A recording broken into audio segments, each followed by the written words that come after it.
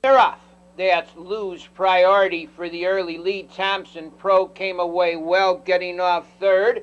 Solar Whirl moving up on the outside fourth as they race four position into the turn. Goes the Appraiser and Thompson Pro takes a two-length lead. Racing in second as they go to the quarter mile mark. And now off stride round the turn goes Solar Whirl. They head off the quarter mile pole, the leader by three lengths as they move in for the three aces. Thompson Pro racing in second position by the stands the first time Lu's Priority. Racing in third to the club turn, that's the appraiser on the outside. Betsy June comes on fourth. Racing in fifth is Prairie Wind. Homesick Hippie is sixth. Racing seventh. The Prairie Chicken far east is eighth, trailing the field far back. That Solar Whirl, the half mile, one one and one fifth.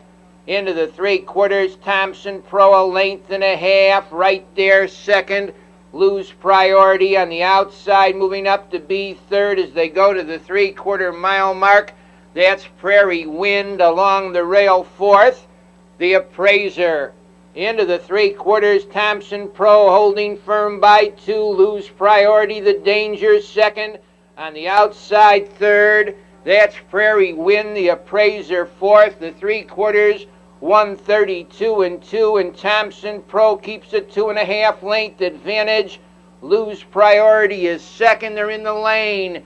It's Thompson Pro, the leader by two lengths. Lu's Priority now closing ground second.